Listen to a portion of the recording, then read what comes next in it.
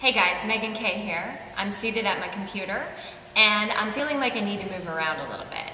If you're stuck at the office and you are wondering what you can do discreetly at your desk to get some movement in, I'm going to show you a few helpful tips for things that you can do to squeeze in activity while at your desk. First thing is you want to make sure that you get some arm extension in. If you spend all of your day here typing, it's going to be a good idea to move your arms backward a little bit. You can just swing them back naturally. Even bringing them down to your sides now and then is going to be better than only being right here. But do try to include some arm extension at your desk.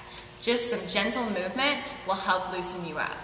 The other thing that you'll want to do is naturally, as you're getting tired, you might notice that you're rounding a little bit.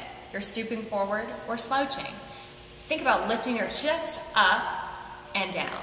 So just up and down from neutral, and that's some chest expansion or thoracic extension, as it's technically called. You could combine that with your arm extension. And don't forget your neck. Gentle half circles with your head or side to side movements. These are things that you can do and it won't look like you're doing much of anything at all. And it will really help to loosen you up. One other thing, if you can manage it, is squatting. So you could stand up out of your chair and just sit back down. I would recommend doing this as often as possible.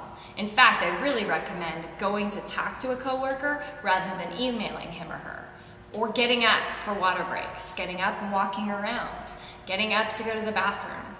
Do it as often as you can without it being disruptive to your work because being seated all day in the same position is really just not very good for you. That's your fit tip. Enjoy, have fun, but get moving.